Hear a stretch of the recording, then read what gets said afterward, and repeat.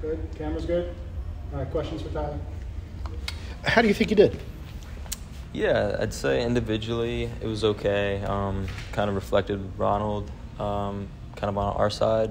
Offensively, defensively, I thought we were we were solid. Uh, defensively, obviously, we're trying to eliminate their space with their wingers, um, Insigne and Bernardeschi.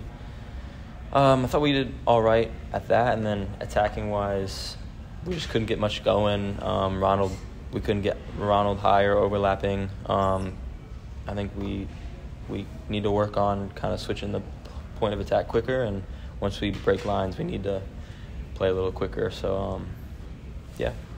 Gonzalo talked about after the game that for whatever reason it didn't seem like they could get you activated a whole lot going forward. Everything seemed to flow to the right. Was that how Toronto was was trying to forcing things that way, or is it just how it went in the game? Yeah, um, Toronto they were very aggressive. Uh, they played man to man, very strong in the first half. So it was it was tough. It was something different that we've seen today. And um, you know, going back over uh, video, we looked back at it. Um, there's a few different ways we can break it, break a, a team who plays like that next time. So yeah, it was a tough opponent. They they were organized. So hopefully we have more ideas uh, going forward. Is when the ball seems to be flowing to the to the right most of the time? Is there anything individually you can do to try to get more active? Yeah, I mean, it's tough on the other side. I'd say just try to you know more runs behind or speak with the midfielders, try and shift shift uh, the ball towards me. We like to start on one side, finish on the other. So Yeah. I think we were maybe just getting stuck on the right side. Um, just couldn't progress the ball to Right. the other side as much. But yeah, And part of that was, I guess, their aggressiveness at closing down, just Yeah. not giving people time to hit that Yeah. long switch. yeah. How cold was it? It now that you've had time to think about yeah, it. It was it was cold. The wind, the wind plays a whole different factor. Um, a little bit of ice on the ball, so you know, not to make excuses, but it was tough. Um, I tried to try to go strong with no gloves. Uh, first half had to go in. Second half put some gloves on, for sure. I don't know if I've ever heard of ice being actually on the ball. Yeah, it's just That's- a little. It was just yeah, slick. Yeah. So, what's the most important lesson that you learned in Toronto that you can apply if you start on Sunday against Chicago? Yeah, I'd say um, as a whole, group mentality, I think we need to find ways to be better playing away from home. That was one of the key topics this year was how can we how can we break down the opponent? How can we control the game um, better um, playing away games? So we'll get back to the basics, uh, stick to what we do, and uh, just keep trying to learn.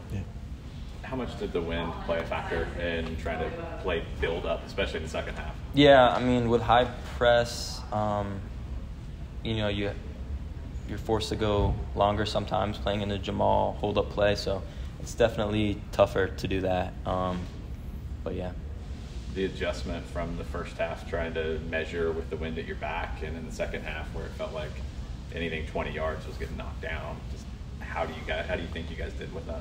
yeah. Uh, second half was definitely better. Um, they weren't as man to man in the second half, so um, weren't as aggressive, and that you know gave us more time, more space to kind of play how we like to. Yeah, when it started to connect in the second half, you know, were there in your mind were there adjustments, or was it just finding a little bit of a rhythm? Yeah, there was more of the more of a rhythm, and um, like I said, Toronto playing more of a back four, uh, less aggressive, not straight man to man. It was gave us more time to think, more time on the ball. Y'all already seen a few different styles now. It's only four games, but how does that prepare y'all for if you encounter something in the first half against Chicago, maybe that y'all didn't think they were going to do? Yeah, I think all these experiences combined um, give us a good idea. Um, you know, as the guys come back, continue uh, to gel as a group, and um, you know, learn to do these things on the fly where we don't need to go into halftime and um, kind of reflect. We can do it during the game. Yeah. Okay. What was it playing without some of the guys when they're on international break and having guys have to step up to the rules? Yeah, um, obviously a lot of quality um, gone, but it's time for the, the next guys to step up and kind of take their moment, take their opportunity, and run with it. Um, obviously, we didn't do didn't get the job done, but just got to look forward. It's still early. Just keep progressing. Um, stay to the basics, what we what we've been doing in preseason. So And you said it's an emphasis to get better on the road away from home. What do you guys do? Like, how can you guys do something to kind of Yeah, make sure that I think in the uh, early moments of the game, I think being aggressive. We talked about winning duels um, at halftime, and we just weren't winning duels. They were outdueling us 50-50s. They were first to them, and then we we weren't connecting um, our passes if we won them. So kind of starts with that. How did Nick do? Do you think? I think he did well. Um, obviously, that's a, it's a tough role to go in there. Um, where Thiago plays, it's it's congested, a lot of players, a lot of movements, and yeah, it's a, it's a tough role. But I thought he did well. Um, there's he had some good moments. One thing you brought to the table on Saturday was your ability defensively, Mhm. and it's something that is always key in preventing teams from building up and creating turnovers.